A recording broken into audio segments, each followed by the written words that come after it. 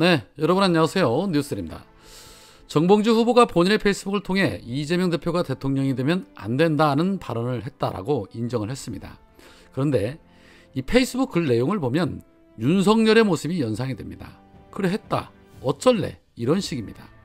글 내용에는 이재명 후보와 함께 온 그 기나긴 세월 쌓여온 믿음과 애정이 있는데 저에게 왜 이렇게까지 할까 섭섭함도 있었다.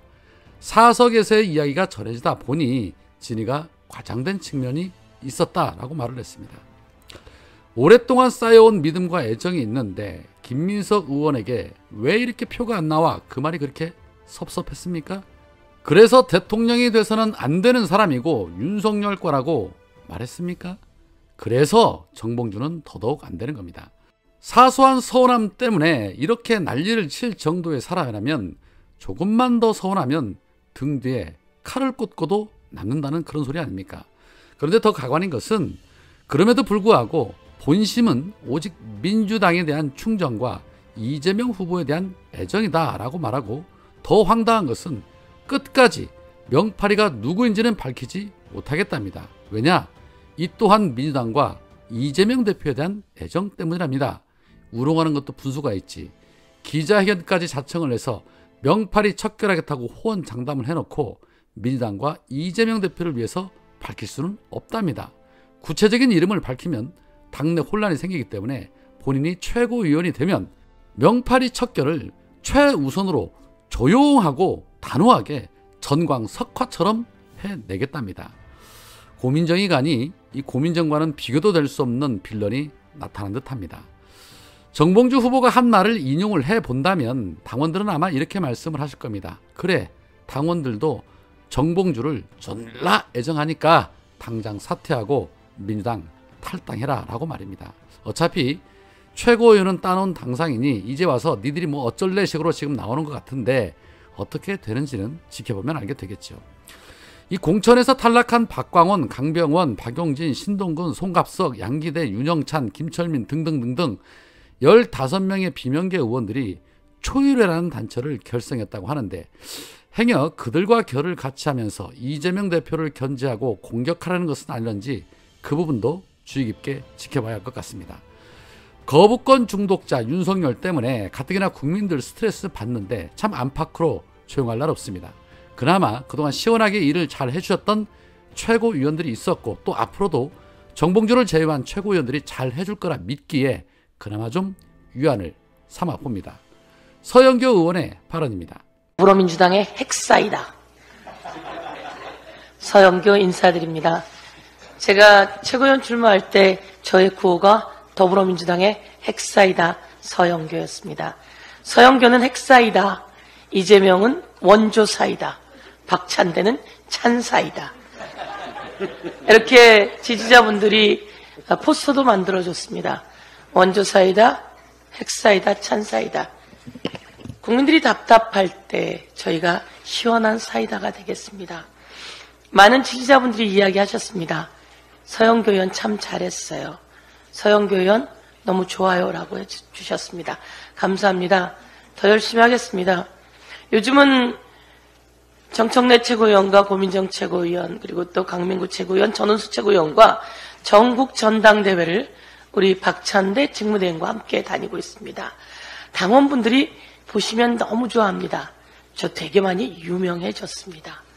다 당원 여러분 덕분이고요. 그 와중에 돌이켜보면 이재명 대표에 대해서 수백 번의 압수수색, 그리고 더불어민주당에 대한 압수수색, 검찰이 펼쳤습니다. 황당했습니다. 더불어민주당 당사에는 검찰이 왔다 가면서 손에 아무것도 갖고 간 게 없습니다. 김용 관련해서 압수수색한다고 하는데 김용은 거기 근무도 안 했거든요. 그리고 그 컴퓨터는 쓰지도 않았습니다. 그런데 이렇게 모양을 내면서 압수수색한다고 쳐들어왔던 검사, 그들 손에는 빈손 털털이었습니다. 그런 검사들은 제대로 검사 활동을 하지 않는 조작하는, 위협하는 검사입니다. 검사는 공무원일 뿐입니다. 공무원이 공무원으로 제대로 일을 하지 않으면 국민이 그 공무원 어떻게 해야 합니까? 법무부 장관이 그리고 검찰총장이 감찰하고 징계해야 합니다. 그런데 법무부 장관도 그리고 검찰총장도 징계하지 않는다면 그 검사 누가 벌 줘야 합니까? 국회에서 탄핵해야 합니다. 그래서 혹시 영상 준비되어 있습니까? 예, 저희가 어, 제 그제였죠. 김영철 검사 4명의 검사를 탄핵 조사하게 되었습니다. 본회의에서 법사위로 넘겼고요. 저희가 조사를 시작했습니다. 김영철 검사 탄핵 조사했습니다. 그런데 여러분, 저희가 잘 몰랐습니다. 저희가 잘 몰랐는데 탄핵 조사하다 보니 정말 이 사람들 안 되겠더라고요. 김영철 검사는 무슨 일을 저질렀는지 그날 낱낱이 고발되었습니다. 근데 그것 중에 제가 일부를 가져왔습니다. 그날 밤 오후 6시 넘어 정다은이라고 하는 증인이 나왔습니다. 김영철 검사와 장시호의 부적절한 관계, 사적인 관계, 그 둘의 숙박시설, 공유 숙박시설을 예약해준 사람 정다은. 정다은이 그것을 예약해준 예약증이 있고 그리고 이 예약해주면서 정다운 돈으로 예약했기 때문에 장시호가 너무 잘 쓰고 고마웠다며 다시 정다운에게 돈을 빌려줘서 돈을 주고받은 내용 그리고 그 예약한 내용이 핸드폰으로 들어있어서 그날 것을 공개했습니다. 그리고 둘이 주고받은 문자가 있습니다. 그래서 한 말씀 더 드리겠습니다. 김영철이라고 하는 나쁜 검사는 말이죠. 장시호가 1300개의 장시호가 친구와 주고받은 파일이 녹취가 다 공개됐습니다. 그건 어떻게 공개됐냐고요? 장시호 친구가 장시호에게 배반감을 느껴서 그 장시호 친구는 이준이라고 하는데요. 그 사람은 유상범 국회의원의 후원회원의 딸이라고 합니다. 이 관계가 코인에 돈을 투자했다가 장시호 뭐 약혼자 관계인 사람 코인에 투자했다가 엄청난 손해를 받고 그 손해를 복원시켜 달라고 할 때 장시호가 협박을 했다는 겁니다. 그래서 이 사람이 정광훈 측에 가서 이 1300개의 파일을 공개한다며 기자회견을 하게 된 것이죠. 그래서 이게 만천하에 드러나게 된 겁니다. 그것을 언론이 몇 분이 썼는데 다른 언론들은 받지 않으셨어요. 그래서 오늘 저희가 법사위 한거 제발 받아주시라고 그게 공정한 언론 아니겠습니까? 그래서 가지고 나왔습니다. 그 정다은 씨가 오후에 나와서 후원회장이 아니고 후원회라고 예, 후원자라고 제가 이야기했습니다. 장시호 정다은이라고 하는 친구도 왜 그렇게 이야기를 다 주고받고 공유 숙박시설 둘이 김영철과 그 다음에 장시호가 있었다라고 하는 공유 숙박시설을 예약해 준 사람은 또 왜 나와서 공개하게 되었는지 오늘 낱낱이 좀 보여드리도록 하겠습니다. 한번 보, 봐주십시오. 어떻게 하는 사이예요? 2017년 말에 서울구치소에 입감이 되었을 때 그때 알게 되었었어요. 김영철 검사가 장시호 아들 불러서 생일 파티했다. 네. 검사실에서 맞습니까? 네. 핸드폰에 사진 봤죠? 사진은 어떻게 생겼습니까? 케이크도 같이 둘이 사진 찍었고 아들하고 정식 씨 사진 찍은 거죠? 공유 숙박 시설 예약해 주셨었습니까? 네, 거기 누구랑 누가 머물렀다고요? 그 장시호랑 그리고 그 김스타라고 지칭 사람분 그 공유 숙박 시설로 헐레벌떡 뛰어들어왔고 같이 있던 다른 사람이 모형도 보았고 네. 그래서 장시호 씨가 우리 정당 증인에게 문자로 고맙다는 이야기 했습니까? 네, 덕분에 시간을 보내고 있습니다. 증인은 왜 이런 내용을 밝히게 된 것이죠?